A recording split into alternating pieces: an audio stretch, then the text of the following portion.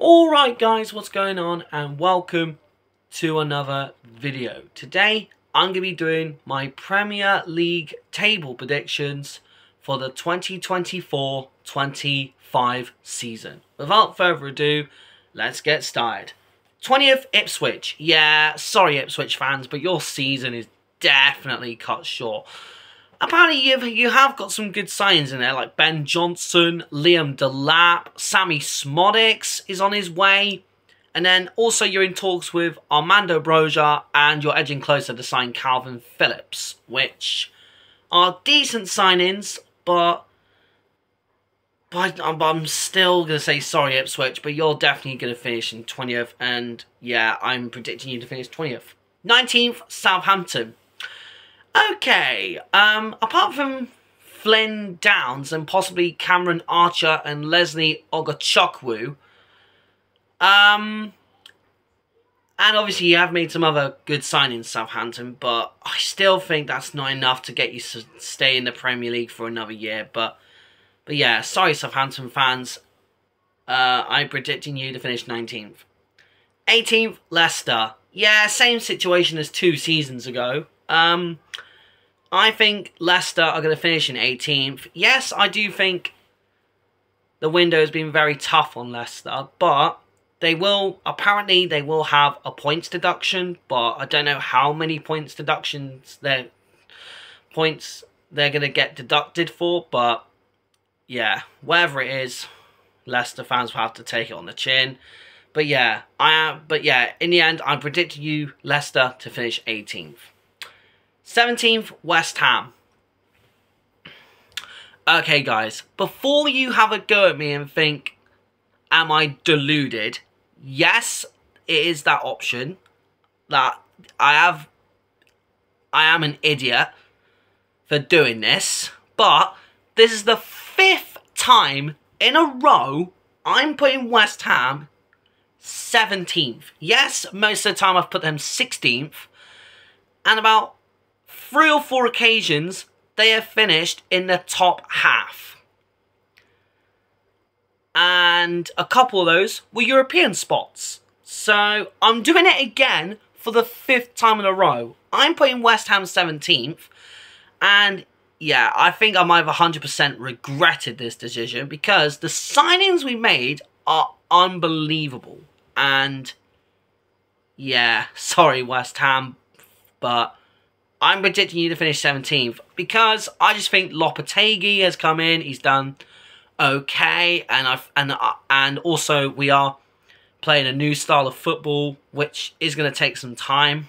But but yeah, that's why I'm putting West Ham to finish 17th. But please prove me wrong. But please prove me wrong, West Ham, and and yeah, good luck for the season, West Ham, and and yeah, this is going to be a massive regret at the end of the season. 16th, Wolves. The reason why I put Wolves 16th is because obviously they have sold key players like Max Kilman and Pedro Neto. And yeah, sorry to say this, Wolves, but I'm predicting you to finish 16th. And good luck. 15th, Nottingham Forest. I think Nottingham Forest are going to have a struggle season again, just like last year. And yeah, Nottingham Forest, I predict you to finish 15th and good luck for the season.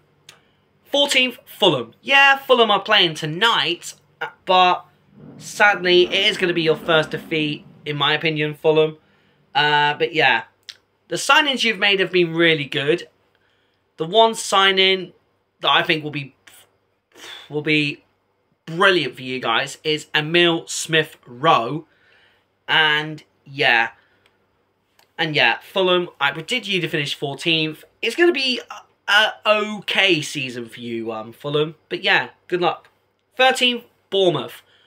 Bournemouth have really surprised me last season. And yeah, they did really well last season. And now I think you're going to go a little bit off season because obviously with the loss of Dominic Solanke and and some other key players along the way as well, Bournemouth. But, but I think Bournemouth are going to have a good season. And I predicted Bournemouth to finish 13th. And good luck, Bournemouth. 12th, Crystal Palace. I would have put Crystal Palace a bit higher if they kept Michael Olise, but now that Olise's gone, and in comes is Ismaila Sarr, who is a good, good player, but he's just not Michael Olise. Uh, but yeah, I predicted Crystal Palace to finish 12th, and yeah, good luck, Crystal Palace. 11th, Brentford. Yeah, I'm putting Brentford 11th, but that mainly depends on Ivan Toney, whether he's going to stay or is he going to go. That's just my honest opinion. But yeah, I think Brentford are going to have a good, good season. Finish 11th. And yeah, good luck, Brentford. 10th, Brighton. Brighton have been really good. Brighton have been good for the last couple of seasons. And yeah, and I just think, and the signings that Brighton have made throughout the transfer window have been really good. Have been good, good. And yeah, I think Brighton's season is going to be good. Is going to be, is going to be good. And I'm putting Brighton to finish in the top half in 10th. And also, good luck, Brighton. Ninth, Everton. I may massively regret this decision.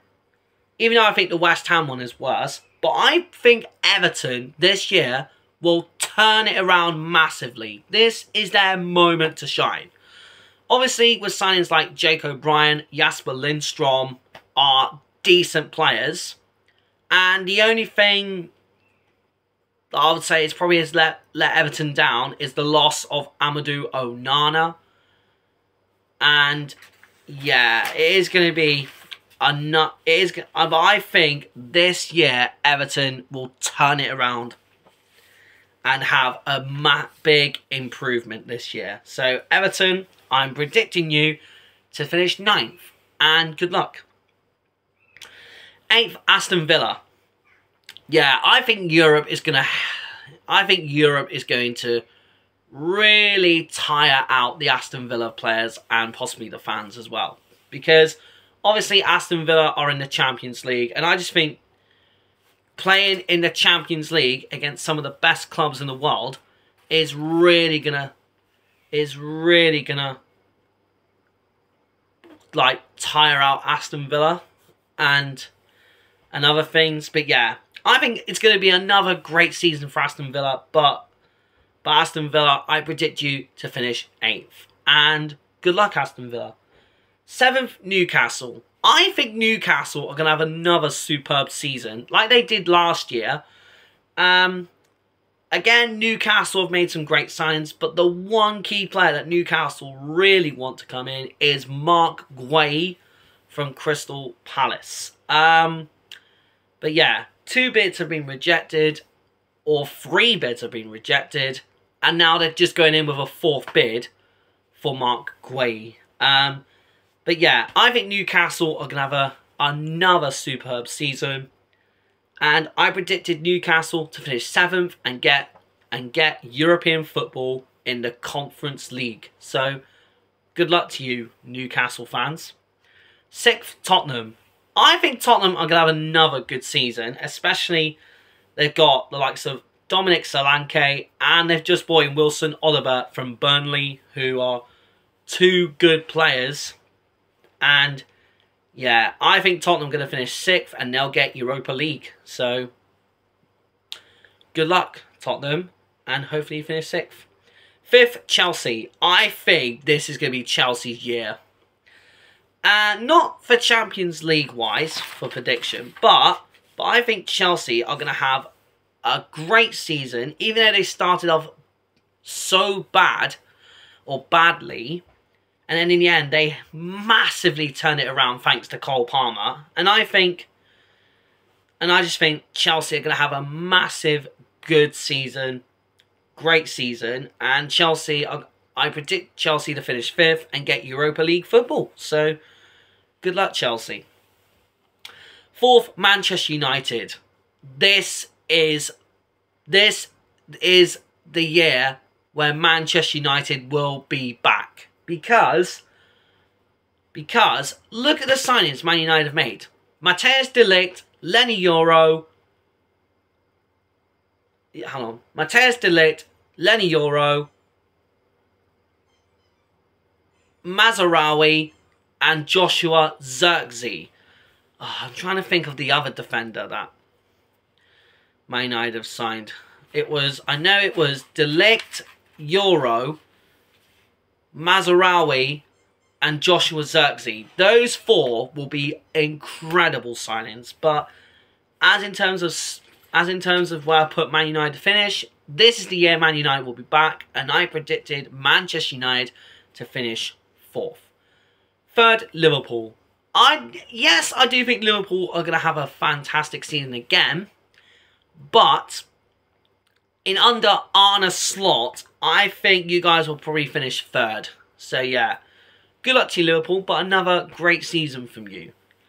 Second, Arsenal. This is a massive, massive debate because it just depends on how on how many points or whatever happens in somewhere in September when Manchester City get there, get whatever the outcome for their 115 charges. But but for now, I've put Arsenal second, and they're going to have a sublime season. And yeah, but I think this year, I just think if they made, if they can do it again like last year, then I would say next year you'll be ready, Arsenal. But sadly, on this occasion, not just yet, and not this year. But I do think it'll be your year, Arsenal, but not this one.